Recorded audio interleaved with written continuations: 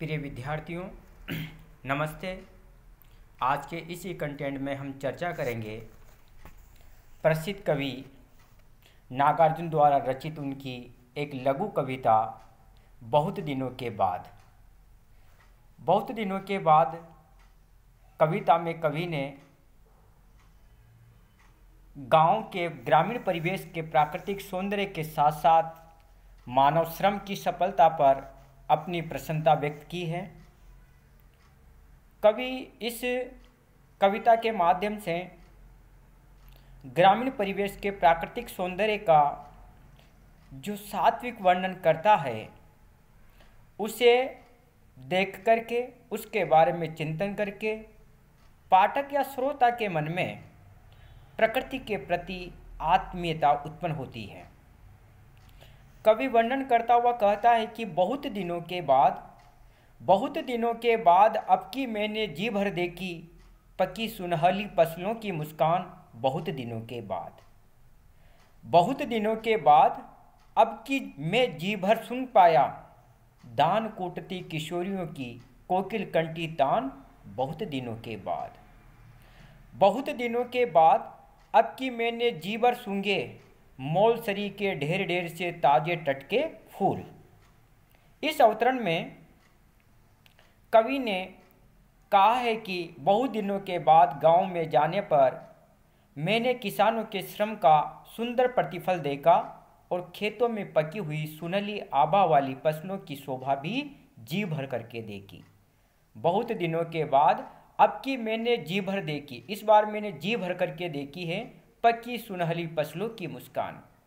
मैंने किसानों की मेहनत से उत्पन्न की गई, पकी हुई स्वर्णमयी फ़सलों की मुस्कान को अर्थात स्वर्णमयी पकी हुई फ़सलों को लहराते हुए जी भर करके बहुत दिनों के बाद देखा है। उन पकी हुई फ़सलों का प्राकृतिक सौंदर्य मुझे बहुत ही आकर्षक एवं मनोरम प्रतीत हो रहा है। बहुत दिनों के बाद उस सौंदर्य को देख करके आज मुझे प्रसन्नता हो रही है। कवि आगे कहता है कि बहुत दिनों के बाद अब की मैं जीवर सुन पाया, दान कूटती किशोरियों की कोकिल कंटी तान बहुत दिनों के बाद।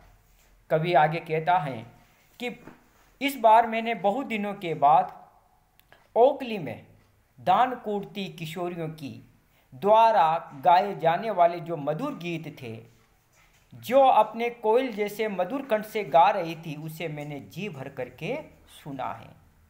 मुझे बहुत दिनों के बाद ये सौभाग्य प्राप्त हुआ है कि आज मुझे गाँव में बहुत दिनों के बाद, काफ़ी समय के बाद दान कूटती हुई किशोरियों की कंठ से कोकिल के समान मधुर गीतों की आवाज़ जी भर करके सुनाई दी, जिसे मैंने जी भर करके सुना।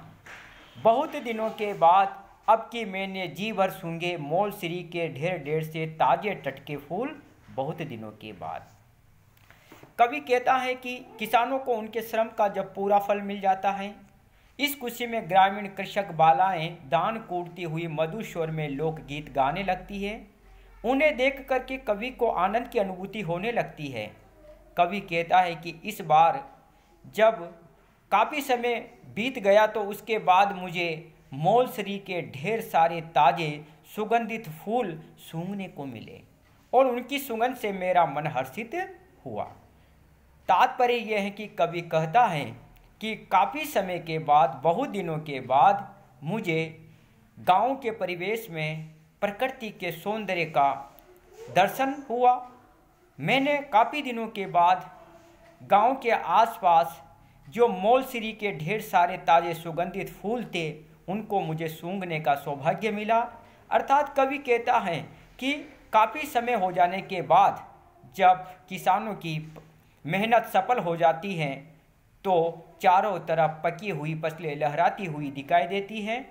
चारों तरफ़ दान कूटती हुई किशोरियों के मधुर कंठ से मधुर लोकगीत सुनाई देते हैं और चारों तरफ़ गाँव में मोलश्री के ढेर ढेर सारे फूल महकने लग जाते हैं, अपनी सुगंध बिखेरने लग जाते हैं। और इस प्रकार से कवि कहता है कि ऐसा वातावरण, ऐसा ग्रामीण परिवेश का दृश्य मुझे शहरी क्षेत्र में कहीं दिखाई नहीं देता, जबकि मैं बहुत दिनों के बाद जब गाँव के परिवेश में गया ग्रामीण क्षेत्र में गया तो मुझे ये सारे दृश्य अपनी ओर आकर्षित करने लगे, जिन्हें मैंने जी भर करके देखा, जी भर करके अनुभूत किया।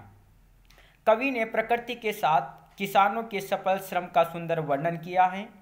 सुनहली पक्की फ़सलों की मुस्कान से श्रम की सुगध, अनुभूति का भाव भी यहाँ पर व्यक्त हुआ है। शब्दावली बहुत ही सरल है, छंद की तुकांतता उचित है।